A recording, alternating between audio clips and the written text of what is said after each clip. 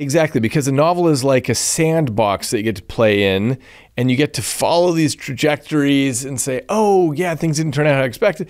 And and uh, yes, it strengthens our muscles for realizing that can happen in real life.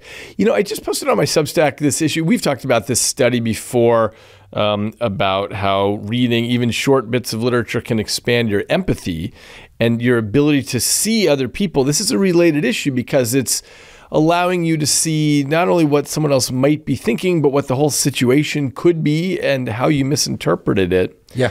By the way, there's a good example in the movie Oppenheimer where uh, Robert Downey Jr.'s character, Lewis Strauss, he's going to say something to Oppenheimer, and uh, and Albert Einstein passes him and and and looks very angry.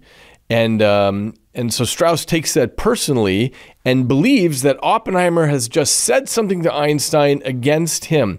And the whole movie, he hates Oppenheimer in part because of this. And at the very end of the movie, I hope this is a, this is a minor spoiler, but at the very end of the movie, we find out that this wasn't at all why Einstein had this concerned look on his face. It's because Oppenheimer had just told him about the, the nuclear bomb test, and and Einstein pictured the whole world going up in flames and was so struck and depressed by this vision he had of what was what the future was that he walked by. And when Strauss said hello Einstein didn't even respond to him. And so we as the audience find out that this misinterpretation has been with Strauss for his whole career because of this this one moment.